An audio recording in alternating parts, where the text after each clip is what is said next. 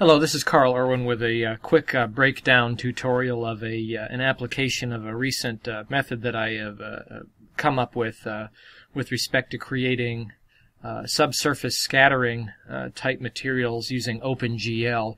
And this is not a perfect method. You can check that tutorial that I put out very recently, within the last couple of days.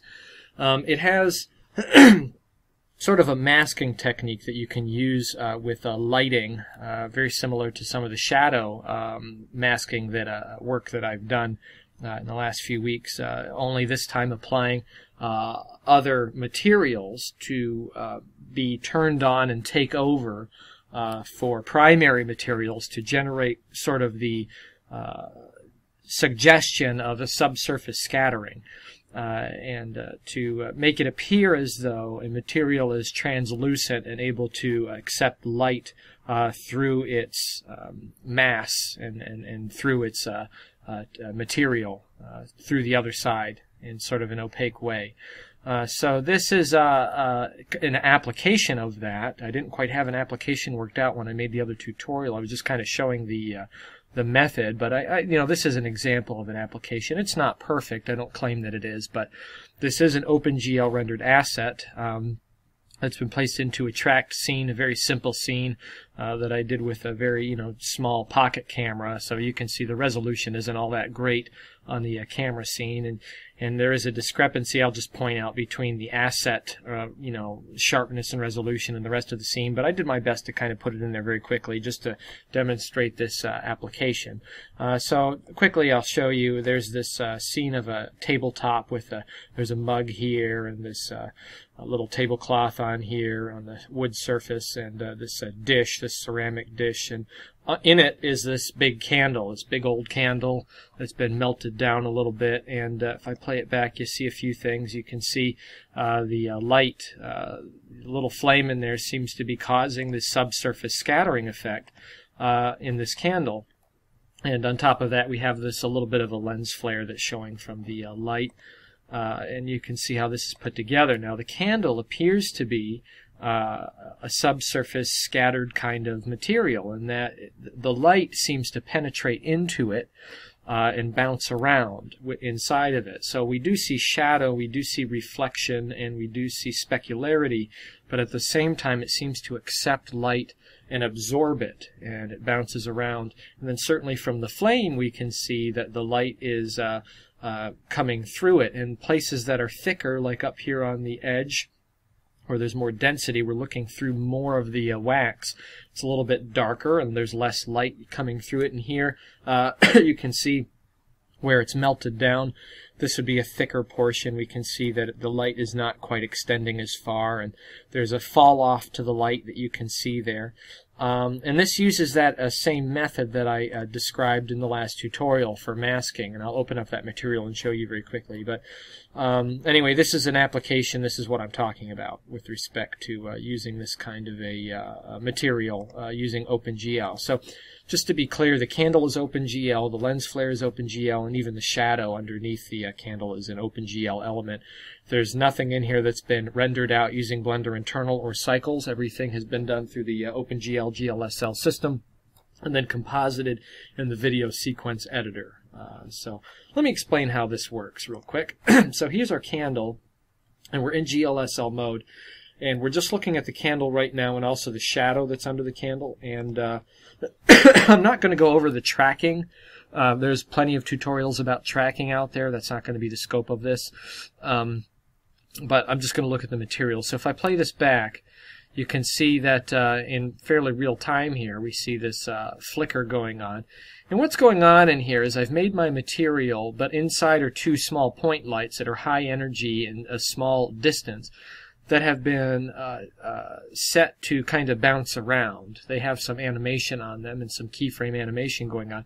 So they're moving around against each other and they're causing this flickering sort of uh, uh, uh thing to happen. Okay, so the, it appears as if there's a flame in there dancing around. Now to look at the material real quick, let me select the candle. we'll open up a uh, node editor here. And you can see that I have on this uh, candle material, there are one, two, three, four, five different materials. Okay, there's the original first material, which has the uh, specularity uh, and base kind of uh, um, uh, color to it, and it accepts lights. This is not a shadeless material, and uh, you can see how that looks. Okay, still kind of a waxy figure, but uh, it doesn't have any subsurface ability to it. Okay, just uh, shadow casting, and it has uh, the specularity on it. You can see kind of the uh, shape of it with the uh, specularity. Now, these are all all the specularity elements are mapped uh, via the reflection mapping in that texture. But otherwise, it's just a plain default texture. Then we have a general subsurface texture and I'll grab that here for you. That looks like, oh, that's not it, sorry. A general subsurface texture looks like this, and it is uh, a Fresnel material, and you can see that it doesn't have shadows on it, um, and doesn't have any specularity on it. It just accepts the lights and demonstrates kind of where the general lighting in the scene, how it affects the uh, candle. Okay, the general lighting affects the candle in this way. And these two are mixed together uh, using a color mix node, and I mixed it so that the uh, this uh, subsurface kind of material is affected by a factor of 0.4 against the other material, the base material, and that looks uh, something like this. So again, this is just a very basic subsurface, subsurface scattered mixture of my base material and then the Fresnel material. So you can see that while there is some shadow casting going on, it seems to accept light and the light bounces around inside, giving us this very general kind of waxy formation. Okay. Now, on top of that, I have another material which is a glowing uh, subsurface scattered material, and this is to be affected by lights that have a specific energy and meet a certain threshold. And uh, this material looks like uh, this. So this is kind of the high energy subsurface scattering. You can see the color's a little bit different because as light shines through the material, it would bring out the internal color properties to it. So it's a little bit more yellow, certainly brighter, but it's another Fresnel material, and it's mostly affected by the lighting in the top. And then I have also uh, a darkened version of that, slightly uh, darkened and color corrected with a curve, RGB curve. It brings out a little bit more of the orangey tones.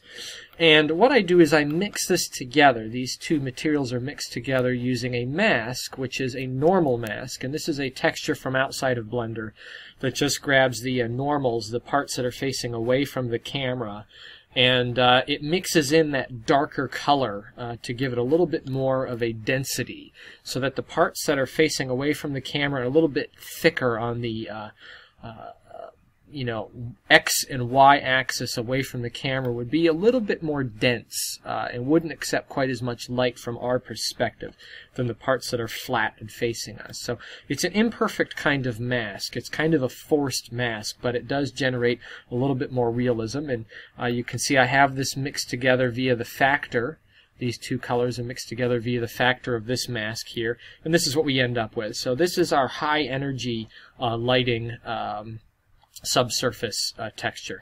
Now all of these are mixed together using uh, another texture, another material rather, which is this one here, which is the subsurface mask. And you can see that the subsurface mask is again an application of the uh, first mask, the first subsurface, but it's all white, it's all grayscale. Now on top of this grayscale, I placed an RGB curve that clamps down this texture and makes it so that we have this kind of an out outcome.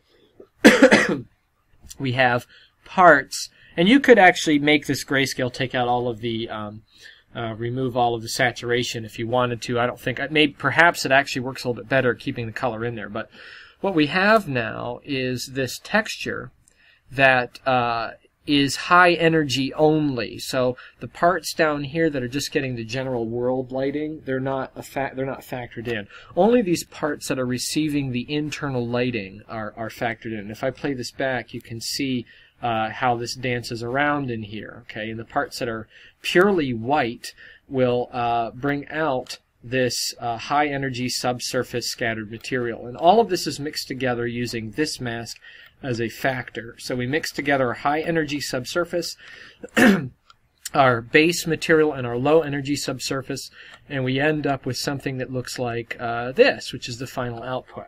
And now let me just point out that uh, there's only a little bit of science in here. This is mostly artistic license. Uh, this is an artistic based uh, material. Uh, we're making choices on the color and choices on the masking uh, to generate something that has a verisimilitude, something that looks realistic even though it's not necessarily ray traced perfect. So if you want something that's authentic and ray traced, you want to use an internal, uh, another render engine. Uh, we're using OpenGL capabilities that are high speed and some artistic license to generate something that is realistic but not necessarily fully real. Okay, so that's how we got that.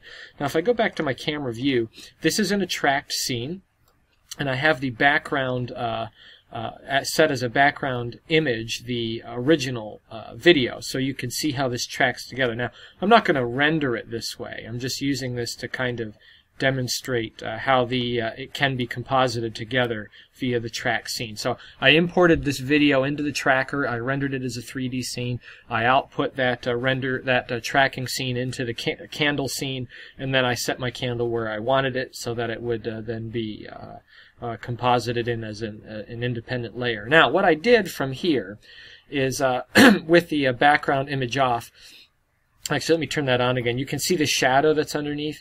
This is just an image, a plane with some alpha transparency that I painted in there, uh, and I just painted in the shadow. So if I turn that off, you can see the shadow disappear. So this is not a generated shadow, it's a painted. Again, artistic license. I just painted in where I thought the shadow would be, and I left that on a plane in there. So what I did is I rendered out via OpenGL render buttons alpha transparent enabled frames of the candle and the shadow separately.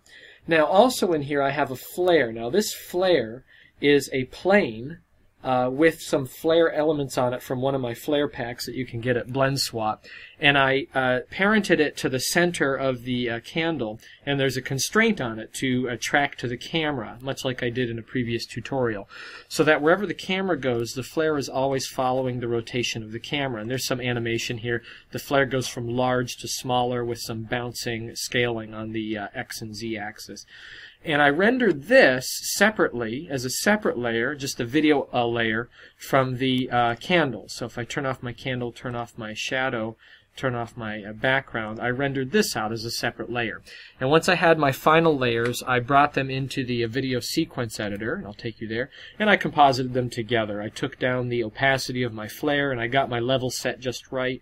Um, that flare, by the way, in the original scene was set to X-ray, so it would show through, so I could get a better real-time uh, view of it. Uh, once I throw it in the compositor as a separate layer, though, that becomes irrelevant. It's a uh, you know placed on top of my the rest of my scene. So then I just composite it through a vignette in there. I added uh, my you know typical poor man's motion blur uh, that I've used before. Added some noise for some film grain, film grain over everything A couple of adjustment later, layers for uh, color uh, uh, grading, and uh, this is my final output. And then I rendered this uh, using, you can use the internal render engine because we don't have any scenes in here, or if you want, you can use the OpenGL buttons. I find that when you're not using scenes, the internal render engine is a little bit faster. When you are using scenes, you must use the OpenGL render buttons because the uh, OpenGL preview will not render via the internal render engine. It will take over and try to try to ray trace render uh, your scene. So anyway, that's uh, how I did it. Just one more look at the uh, final output. And you can see that we tracked in an OpenGL element using a subsurface scattering texture material. And, uh, you know, it's pretty passable. If you had a couple elements like that, I think you could really get away with it. Uh, so anyway, that's just an example of maybe an application for this kind of uh, material uh, creation in the OpenGL and GLSL uh, rendering. So uh, a little bit simpler than some other uh, math node type examples that are out there, and a little bit more direct, but certainly dependent on some artistic license and some artistic choices. so anyway, there you go. compositing and masking out a subsurface scattering material and putting a candle into a uh, scene here. So, uh, hope hopefully you find a use for this, and I wish all of you the best of luck with this technique and happy blending.